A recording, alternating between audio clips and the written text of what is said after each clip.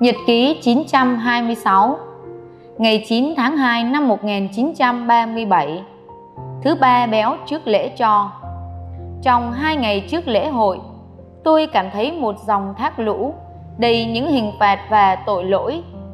Ngay lúc ấy, Chúa cho tôi biết tội lỗi khắp thế giới Đã phạm trong những ngày này. Tôi ngất đi vì kinh hoàng, Mặc dù đã biết lượng từ bi vô bờ của Chúa. Tôi kinh ngạc vì Chúa vẫn còn cho nhân loại tồn tại và người cho tôi biết chính các linh hồn ưu tuyển là những người đã nâng đỡ sự tồn tại của nhân loại. Khi các linh hồn ưu tuyển đã đủ số, thế giới sẽ không còn tồn tại nữa. Nhật ký 927 Hai ngày nay, tôi hiệp lễ để đền tạ và thân thưa cùng Chúa Lạy Chúa Giêsu, ngày hôm nay con xin hiến dâng tất cả vì các tội nhân. Xin phép công thẳng của Chúa hãy giáng phạt trên con. Nhưng xin đại dương xót thương của Chúa hãy ngập lút các tội nhân đáng thương. Chúa đã nhận lời tôi cầu xin, nhiều linh hồn được trở về cùng, nhưng tôi phải quằn quại khổ đau dưới ách công thẳng của Chúa. Tôi cảm thấy mình là đối tượng cơn nghĩa nộ của Thiên Chúa tối cao. Đến tối, những đau khổ của tôi đã lên đến tình trạng bị ruồng bỏ bề trong. Từ lồng ngực trào lên, những tiếng rên rỉ không sao kiềm chế nổi. Tôi khóa cửa phòng và bắt đầu làm một giờ thánh. Cảm giác bị ruồng rẫy nội tâm và kinh nghiệm phép công thẳng Thiên Chúa, đó là lời cầu nguyện của tôi những tiếng rên rỉ và nỗi đau đớn từ linh hồn tôi trào ra thay cho cuộc thưa chuyện ngọt ngào với Chúa. Nhật ký 928 Khi ấy, bỗng tôi được nhìn thấy Chúa, người áp tôi sát vào trái tim người và phán Hỡi ái nữ của cha, con đừng khóc bởi vì cha không thể chịu nổi những giọt nước mắt của con. Cha sẽ ban mọi điều con xin, nhưng xin con đừng khóc. Tôi được chen chứa niềm hân hoan và tâm trí tôi, như thường lệ, được chìm đắm trong chúa. Như báu tàng độc nhất của mình. Hôm nay, được lòng từ ái chúa khuyến khích, tôi đã thư chuyện với chúa rất lâu. Nhật ký 929 Khi đã được tựa vào trái tim rất ngọt ngào của Chúa, tôi thưa với người.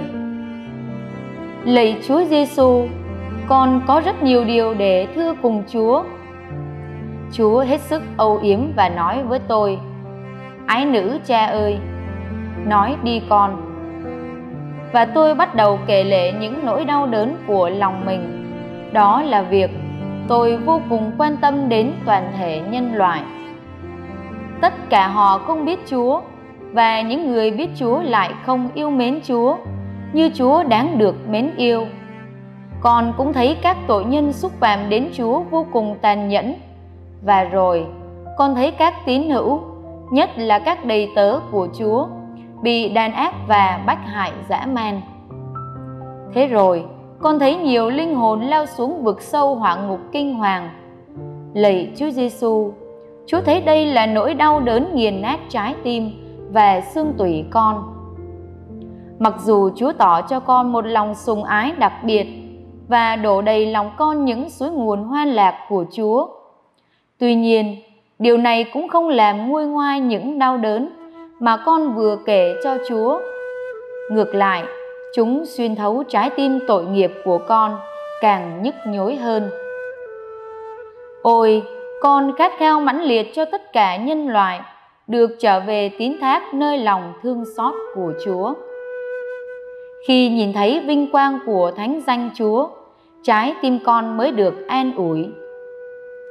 Chúa giêsu trầm ngâm và thích thú lắng nghe những lời tâm sự của hồn tôi như thể người chưa biết gì về những sự ấy.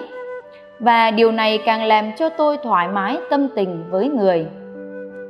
Chúa giêsu nói với tôi, ái nữ của cha ơi, những lời phát xuất từ trái tim con làm vui thỏa lòng cha và bằng việc đọc chuỗi kinh, con sẽ đem nhân loại đến gần cha hơn.